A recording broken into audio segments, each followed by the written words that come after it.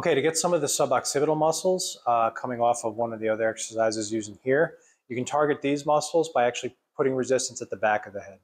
Um, when you turn to the right, uh, the back of the head moves towards the left, so it basically does that.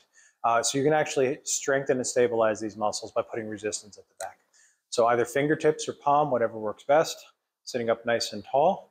And then what will happen as you turn to the right or left, the hand is going to give you resistance as you move into that range.